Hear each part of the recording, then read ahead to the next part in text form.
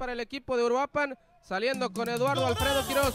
Acá la retrasaron mal. El primero del Sami. El primero del Sami. ¡Gol! ¡Gol! ¡Gol!